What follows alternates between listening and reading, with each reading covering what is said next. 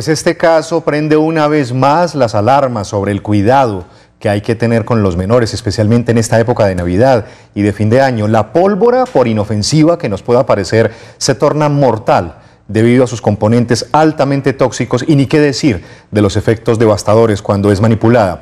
El fósforo blanco, para citar nuevamente este ejemplo, es de los componentes más letales y está presente en un simple tote. Téngalo en cuenta, es por su salud.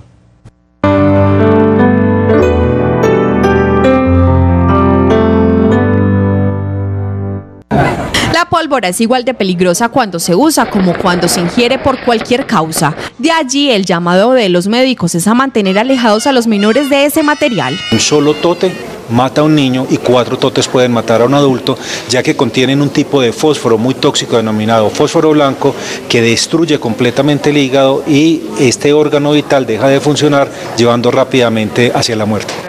Los bebés suelen experimentar metiéndose a la boca lo que encuentran, por lo que los padres deben identificar si consumieron algún residuo peligroso. Que tiene un aliento a ajo, lo que se denomina un aliento aliase. Segundo, presenta diarrea.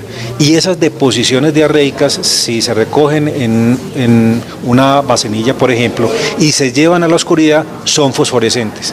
La palidez y la pérdida de conciencia son otras alertas para que los padres actúen a tiempo y lleven al menor a un centro asistencial.